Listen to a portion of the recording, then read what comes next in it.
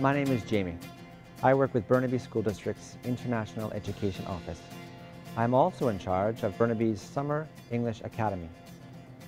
Burnaby's Summer English Academy is designed to help students 13 to 18 years old improve their reading, speaking, listening, and writing. I like this program because I can make friends with students from all over the world. Hi, my name is Rafael Angel Sanchez. I'm from Colombia. My name is Minami Kuriyama. I'm from Tokyo, Japan. Giulia Falerni.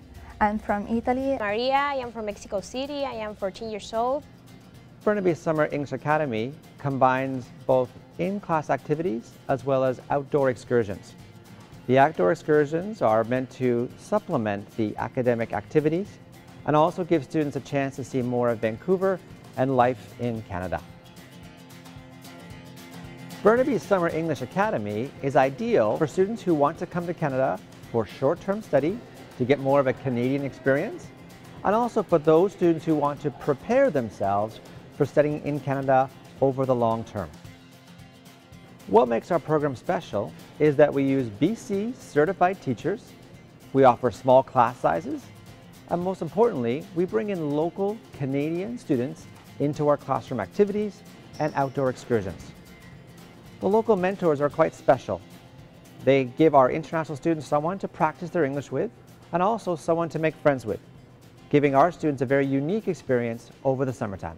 They're all happy to be here. They're all kind-hearted people. It's really nice to see them just being happy to be in Canada and living as a Canadian student. Students who enroll in our program will live with local Canadian families. Homestay is great. Students are well taken care of and it gives our students a chance to learn more about Canadian culture and practice their English outside of the classroom.